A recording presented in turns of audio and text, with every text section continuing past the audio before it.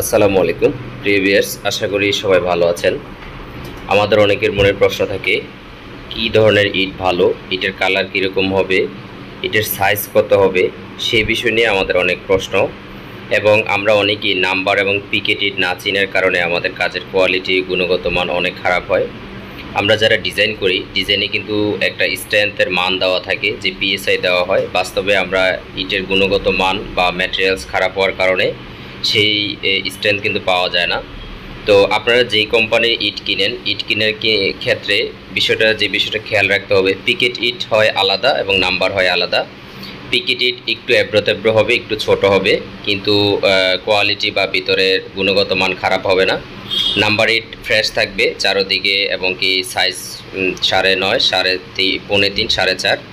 তো এই বিষয়গুলা আপনারা যখন একটু কোয়ালিটি ফুল চিন্তা করবেন, তখন আপনারা এই বিষয়গুলা খেয়াল করতে পারবেন। তো পিকেট ইটের মধ্যে দেখা যায় অনেক সময় জামা ইট বা পোড়া, অতিরিক্ত পোড়া ইট হয়ে থাকে। এটাও একটু সমস্যা আছে। জামা ইটের ক্ষেত্রে এটার স্ট্যান্ডটা হারিয়ে ফেলে বেশি পোড়ার কারণে বা কালো কালো যে ইটগুলা দেখা যায়। তো আপনারা যদি একটু সচেতন থাকেন, তাহলে কিন্তু আপনার কাজের গুণগত মান ভালো করতে পারেন। আমরা অনেক সময় একটু কম দামে ইট আনার কারণে সাইজ ছোট হয় বা কোয়ালিটি খারাপ হয়। তো ইটের কতগুলো ক্যাটালগ থাকে? এক নাম্বার দুই নাম্বার তিন নাম্বার তো আপনি মাল কিনের ক্ষেত্রে জাস্টিফাই করে মাল কিনবেন এবং পিকেট ইট যেটা, এটা সহজেই ভাঙবে না।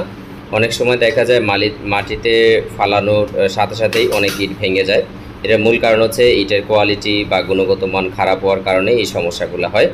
প্রিয় বিয়ার্স আমরা এখানে কোনো ইটের মার্কেটিংয়ের জন্য নয়, আপনাদেরকে সচেতনের জন্য বা কোনো কোম্পানি ভালো, খারাপ, ওইটা বলার জন্য নয়। যেন আমাদের ক্লায়েন্ট সোয়াক ভাই এখানে কিন্তু দুইটা ইট দেখবে, যেটা নর্মাল ইট, সেটা কীরকম এবং যেটা ভালো ইট, সেটার ভিতরটা কীরকম থাকে। অনেক সময় দেখবেন যে ইট ভাঙার পরে ভিতরে অনেক ফাঁপা থাকে, অর্থাৎ এই ফাঁপা অতিরিক্ত হওয়ার কারণে কিন্তু ইটের কোয়ালিটি খারাপ হয়। আপনারা দেখতে পাচ্ছেন হলুদ টাইপের যে ইটটা দেখা যাচ্ছে, একটু হলুদ। হলুদ বলতে এখানে যেটা আমরা গাঢ় লাল বলি, ওরকম না। যেমন এই যে একটা ইট ভাঙা হয়েছে দেখতে বোঝা যাচ্ছে যে ইটের ইটটা অনেক ভালো না। তো ভাঙার পরে দেখেন ভিতরে অনেক ফাঁপা দেখা যাচ্ছে, খালি অংশ বয়েট। তো এই টাইপের ইটগুলো আপনারা কখনোই পিকেট বা ভাঙার কাজে ইউজ না করাই ভালো। এবং আপনারা যদি একটু পোড়া ইট দেখাই, দেখবেন যে এটা সহজেই অনেক সময় ভাঙবে না। পোড়া ইট যদি একটু দেখাই, তাহলে বুঝতে পারবেন যে আসলে একটা ভালো ইট কীভাবে আপনিও চাইলে পরীক্ষা করে নিতে পারেন। যেমন এখান, এখন যে ইটটা ভাঙা হবে সেই ইটটা কিন্তু উনি অনেক ট্রাই করবে বাট উনি ভাঙতে পারবে না। তো উনি আরেকটা ইটের উপর দিয়েও ট্রাই করবে। দেখা গেছে ওনার অনেক শক্তি প্রয়োগ হয়েছে, অনেক শক্তি লাগবে। তো এই বিষয়টা আসলে একটু কৌতূহলের বিষয় থাকে যে আমরা কী টাইপের ইট ব্যবহার করব, সেক্ষেত্রে আমাদের কি করা দরকার, সেই বিষয়টা নিয়ে আসলে আজকে একটা কৌতূহল ছিল, বা এরও একটু জানার দরকার ছিল সেজন্য এটা দেখানো। তো দেখতেই পাচ্ছেন যে এটা ভিতরে কিন্তু ঝামা। ইটার ভালো ছিল আউটার অংশে, ভিতরে আবার এটা ঝামা ইট তো সব বিষয় খেয়াল রেখেই কাজ করা লাগবে।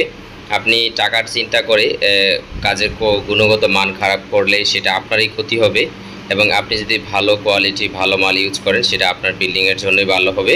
প্রিয় বিয়ার্স আমরা অনেকে অনেক টাকা খরচ করি, কিন্তু একটু না বুঝার কারণে আমাদের সে টাকাগুলো অপচয় হয়ে যায়।